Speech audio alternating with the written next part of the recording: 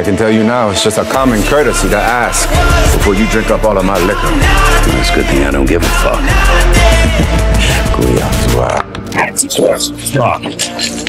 Like you're holding up a mirror to my soul. You guys may not have been able to save your universes, but you can avenge them. What you do to Johnny, huh? Talk or I'm gonna start dealing. You know how long I've been waiting for this?